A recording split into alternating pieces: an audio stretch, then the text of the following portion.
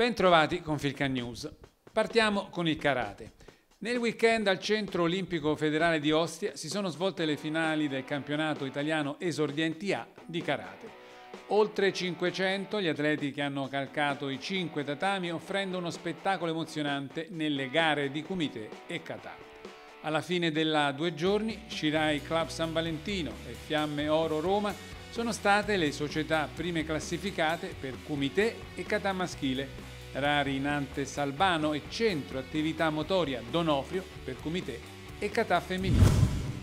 Passiamo alla lotta. Rovereto ha ospitato la fase finale della Coppa Italia di Greco-Romana. A comandare la classifica per società le Fiamme Oro davanti a Custorino, Atletico Faenza e i padroni di casa del Lotta Club Rovereto. Chiudiamo con il judo. La Chiama Settimo Torinese si è aggiudicato la prova bergamasca del Trofeo Italia Esordienti B, con il primo posto nella classifica generale delle società. I tabelloni di gara e le classifiche complete sono disponibili nella sezione Gare e risultati del sito federale. Ancora per il judo abbiamo intercettato al centro olimpico di Ostia Cristian Parlati, bronzo europeo e mondiale classe juniores.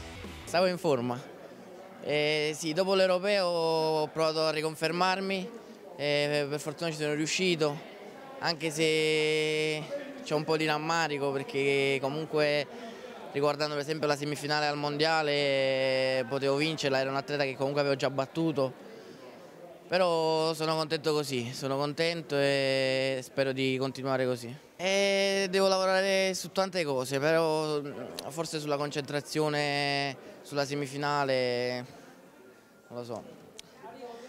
Dobbiamo, devo continuare a lavorare, devo continuare a allenarmi forte per, migliorare. L'anno prossimo sono ancora junior e spero di portare loro questa volta. Ed ora i prossimi appuntamenti. Per il judo Podgorica ospiterà l'Europeo Under 23.